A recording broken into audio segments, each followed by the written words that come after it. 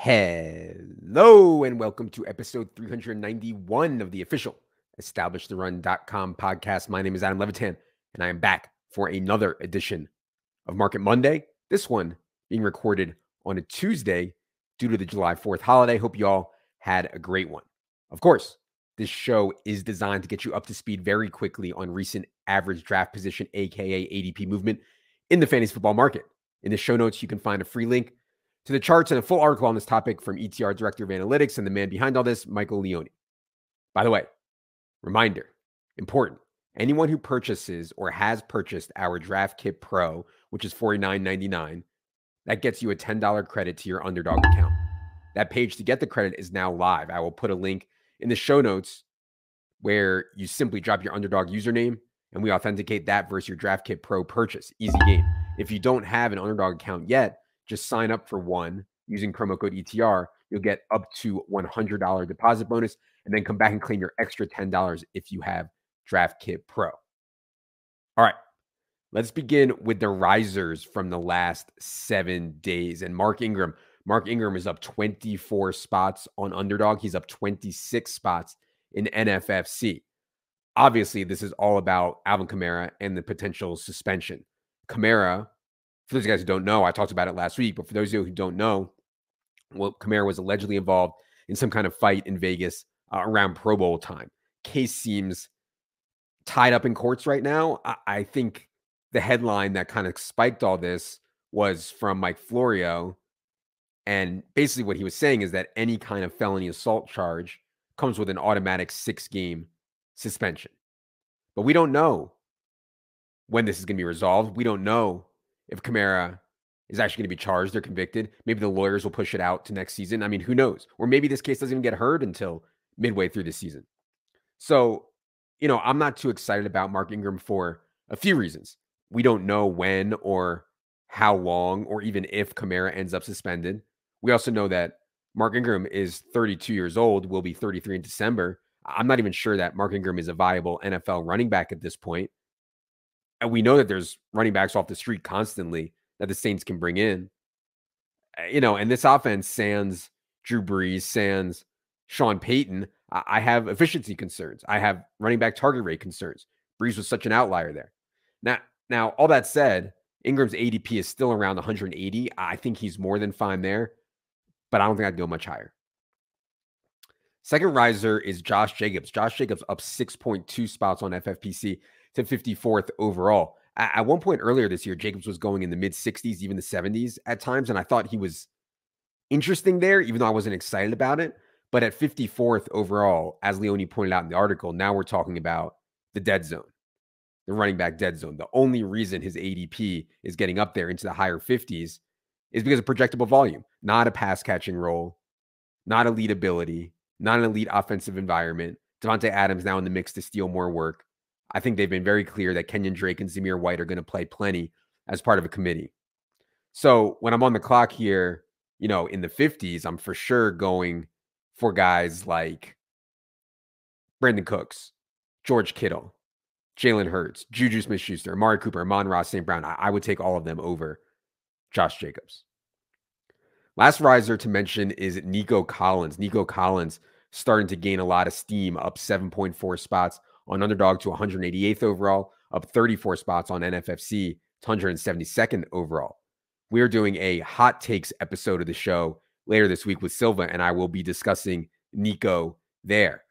Stay tuned for that. But for now, I'll say that this ADP move I think is long overdue on Nico Collins. The general public underrates Davis Mills, in my opinion, underrates Pep Hamilton. And we know Nico has the measurables of an elite wide receiver. Target competition is clearly very light. So, yes, I think Nico is going to start to rise really quickly in drafts. I don't mind reaching a half round or a round ahead of ADP right now uh, for Nico Collins, even after this move. All right, let's get to this week's fallers. And man, people have given up on Treylon Burks quickly. Um, bad reports from camp, you know, related to asthma and also some, you know, reports, I say in quotes, that he's likely to open the year behind Robert Woods, who's coming back well from the ACL tear, and speculation that Treylon Burks will also be behind Nick Westbrook-Ikhine. You know, that stuff doesn't really bother me. I, am sure the asthma thing is not new for Treylon Burks. He's played with it. The Titans knew about it. And in June, uh, of course, the veterans are ahead of the rookies. To me, it's only news in June or July if the rookie is actually ahead of incumbent veterans. So, yes, I would be shocked, shocked if Treylon Burks was not ahead of Nick Westbrook-Ikhine come week one. And now Burks' ADP is getting to a spot where I'm pretty intrigued. I didn't like him in the 70s, but now we're talking 87th overall. And because that's the new Burks ADP on underdog. And he's also down 10 spots to 97th overall in FFPC. I mean, that's really cheap for someone who has direct path to being his team's number one wideout with Treylon Burks' natural ability. Another faller is an interesting one, Patrick Mahomes. And I- I'm not exactly sure why, but Mahomes is down 10.6 spots on NFFC to 56th overall. He's down four spots on underdog, around 48th overall there. I mean, there's no doubt that Mahomes is a worse bet without Tyreek Hill. Way worse. You know, not only is it Tyreek Hill's unique ability to turn ordinary four yard passes into 70 yard touchdowns, but the way he affects defensive coverage, even when he doesn't get the ball, is so valuable on Tyreek.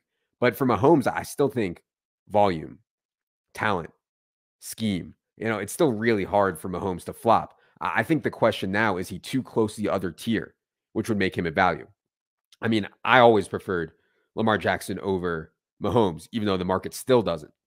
But, you know, let, let's talk underdog. You know, would you go Mahomes at 48 or Kyler at 60? I, think that's really close. So I guess my point is that whereas Mahomes at 40 was bad, I'd certainly rather have Kyler at 60 than Mahomes at 40. But as we creep into the 50s on Mahomes, I'm much more okay with it, especially on underdog where we can get easy stacks for best ball. I mean, you can get Juju, CEH, Rojo, Hardman, Sky Moore, MVS. I mean, all those guys go late. And so if you get Mahomes, you're in a spot to create a bunch of Kansas City stacks. Last thing to mention on followers is J.K. Dobbins. J.K. Dobbins is down 7.6 spots on Fantasy Pros ADP to 47. He's down eight spots on NFFC to 61st. I get that the mini camp stuff on J.K. Dobbins was not great. You know, John Harbaugh said, well, he hoped J.K. and Gus Edwards will be out there practicing, you know, but they're not. And, you know, there were some light rumors that maybe Dobbins' knee injury was worse than originally reported. I mean, Dobbins' knee injury last year was August 28th. He will have had the full year, full calendar year to get right. And the standard these days is like nine or 10 months. So I, I, get that people are scared. I get that the news isn't great right now, but a lot of this feels like speculation to me. You know, the Twitter doctors, et cetera, they haven't actually examined J.K. Dobbins.